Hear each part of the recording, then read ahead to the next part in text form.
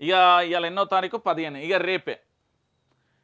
నేడు ఈడీ ముందుకి బుచ్చిబాబు కవిత విచారణకు ముందు రోజే ఎంక్వైరీ. ఇప్పటికే విచారణ. తాజాగా మరోసారి ఆర్థిక అంశాలపై ప్రశ్నించే అవకాశం పిల్లయితో కలిసి విచారించే ఛాన్స్.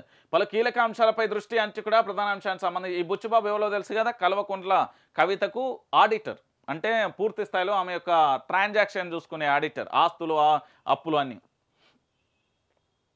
ఢిల్లీ లిక్కర్ స్కామ్ కేసులో దూకుడుగా వ్యవహరిస్తున్న ఈడీ సౌత్ గ్రూప్ పైనే ప్రధాన ఫోకస్ పెట్టింది. ఈ వ్యవహారంలో ఆ సౌత్ గ్రూప్ కీలకంగా వ్యవహరించిందని బలంగా ఆరోపిస్తున్న ఎన్ఫోర్స్మెంట్ డైరెక్టర్ ఆ గ్రూప్లో వ్యక్తులను ఎంక్వైరీ చేస్తున్నది. ఇప్పటికే కవిత వ్యక్తిగత మాజీ ఆడిటర్ ఆ, బుచ్చిబాబును విచారించిన ఈడీ నేడు మరోసారి ఎంక్వైరీ చేయనున్నది. కవితను రెండోసారి విచారించేందుకు ఒక్కరోజు ముందే బుచ్చిబాబును ఎంక్వైరీ చేయడం ఆసక్తికరంగా మారింది. ఇందులో పిల్లయితో కలిపి బుచ్చిబాబును విచారించే ఛాన్స్ ఉన్నది మరి విచారణలో ఏవైనా కొత్త విషయాలు బయటకు వస్తాయా? వస్తే అవి ఎప్పుడు మెడకు చుట్టు ఎవరి మెడకు చుట్టుకుంటాయి అనేది ఉత్కంఠంగా రేపుతుంది అనేది ప్రధాన అంశానికి సంబంధించి హైలైట్ చేసింది.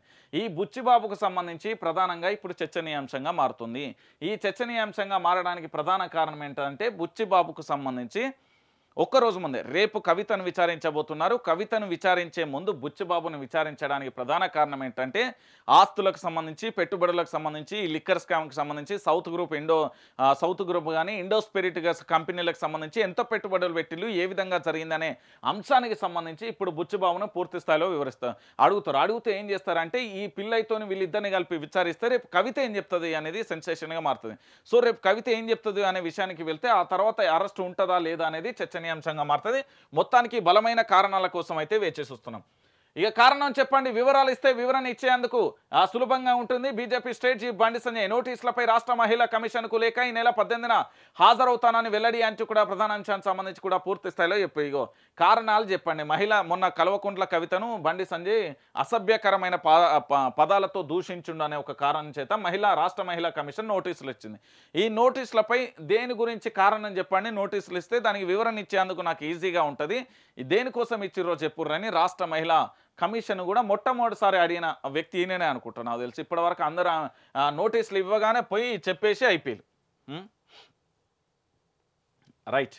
మళ్ళీ విచారణకు ముందు రోజు నేడు మహిళా బిల్లులపై కవిత రౌండ్ టేబుల్ మీటింగ్ ఢిల్లీలోని మెరిడియన్ హోటల్లో నిర్వహణ రాజకీయ వర్గాలలో చర్చనీయాంశంగా ఆ సమావేశం మొదటిసారి ఈడీ అధికారులు ఎంక్వైరీకి హాజరయ్యే ముందు రోజు జంతర్ మంతర్ వద్ద మహిళా రిజర్వేషన్ బిల్లు కోసం దీక్షకు కవిత చేపట్టారు. రేపు మరోసారి ఈడీ విచారణకు హాజరు కావడంతో దానికి ముందు రోజే మహిళా బిల్లులపై ఆ ఢిల్లీలో రౌండ్ టేబుల్ సమావేశాన్ని నిర్వహిస్తున్నారు. దీని వెనుక ఉన్న వ్యూహం ఏంటనేది పొలిటికల్ వర్గాలలో ఆ చర్చనీయ అంశంగా ఉన్నది అనేది ప్రధాన అంశానికి సంబంధించి కొనసాగుతుంది. మొన్న అరెస్ట్ మొన్న విచారణ జరిగినప్పుడేమో ఏం చేసింది అంటే కల్వకుంట్ల కవిత జంతర్ మంతర్ వద్ద పూర్తి స్థాయిలో మహిళలకు సంబంధించిన బిల్లుల కోసం చేసింది.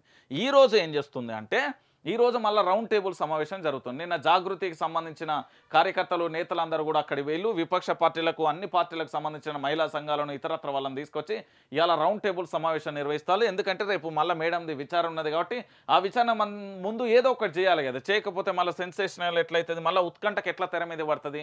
అనేది ప్రధాన అంశం. రైట్.